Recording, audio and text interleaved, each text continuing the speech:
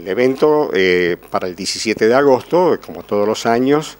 se va a realizar en la Plaza 25 de Mayo este, a las 3 de la tarde y eh, bueno, este, lo tradicional. Lo tradicional, ¿no es cierto? Esta vez se ve ampliada por la visita de dos eh, señores de Buenos Aires que han sido invitados especialmente por la Asociación Sanmartiniana, uno de ellos el escritor y profesor eh, Carlos Gigliotti, autor del libro eh, Amanecer de un 3 de febrero, que relata eh, sobre el, combate de San Lorenzo, y también un nuevo libro que va a hacer mención sobre la batalla de Chacabuco. Este señor va a estar acompañado por Javier Ramos, un excombatiente de Malvinas. Este, así que bueno, eh, eso por un lado.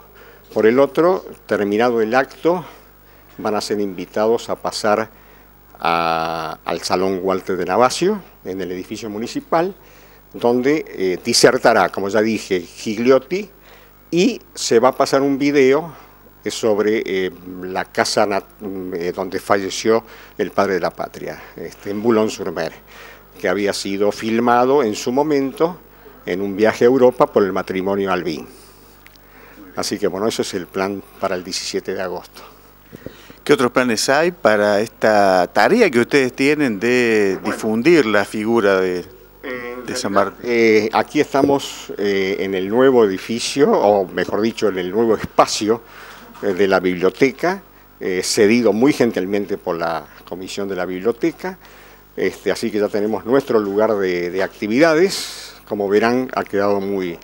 muy lindo. Este, después eh, hemos, por primera vez en casi 50 años, que este año en diciembre se van a cumplir los 50 años, la institución tiene un nuevo nombre, eh, eh, esta designación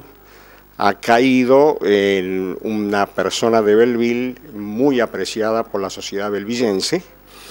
este, así que a partir del el día de hoy, la Asociación Cultural Sanmartiniana de Belleville pasará a llamarse Sociedad Cultural Sanmartiniana de Belleville Atilio Sarini.